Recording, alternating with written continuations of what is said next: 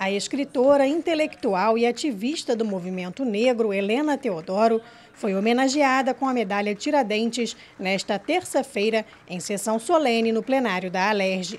Responsável pela homenagem, a deputada Renata Souza destacou a importância de Helena para a ancestralidade da mulher negra e lembrou que essa é uma justa homenagem do parlamento à sua carreira e história de vida. A Assembleia Legislativa tem a oportunidade de homenagear uma mulher que hoje já está na história do nosso Brasil como intelectual negra, que traz referências muito importantes com as religiões de matriz africana, mas mais que isso, é uma mulher que nasce no subúrbio do Rio de Janeiro, no auge dos, seus 80 anos, com doutorado, com pós-doutorado, enfim, uma figura que rememora os nossos ancestrais, mas que guarda consigo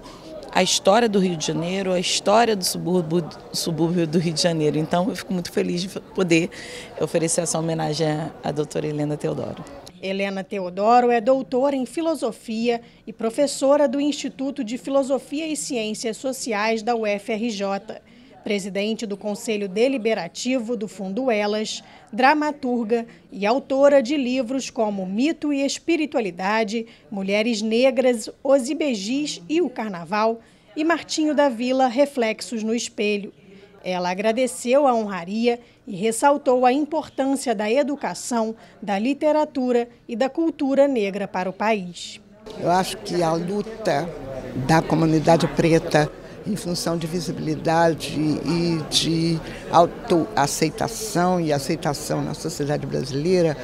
tem que estar muito voltada para a educação e para uma literatura que nos veja como cidadãos brasileiros produtores, construtores, criadores, porque na verdade fomos nós que construímos esse país. Foi nossa mão de obra e nosso talento artístico que fez o Brasil se realçar dentre outros países do mundo, sendo o principal centro de carnaval com as nossas escolas de samba e contando nessas,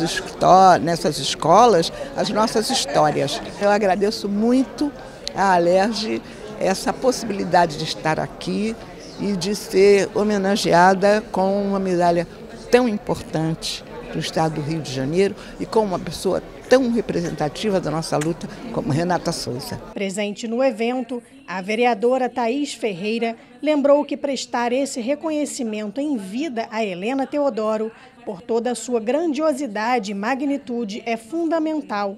Para ela, é uma honra poder abraçar essa homenagem de forma conjunta e, enquanto representante do Parlamento Municipal, também concedeu a Helena a medalha Chiquinha Gonzaga da Câmara de Vereadores do Rio. Celebrar a Helena em vida é uma responsabilidade muito grande que o mandato de Renata assume e que eu me junto para poder deixar ainda mais encorpado, porque ela é a representação material da dignidade desde o começo da vida para a comunidade de pessoas negras. Uma menina que cresceu numa família cercada de cultura, de amor, de samba, que se torna uma intelectual tão importante, é falar do brilhantismo das nossas crianças e é falar também dos nossos mais velhos. Por isso é tão importante.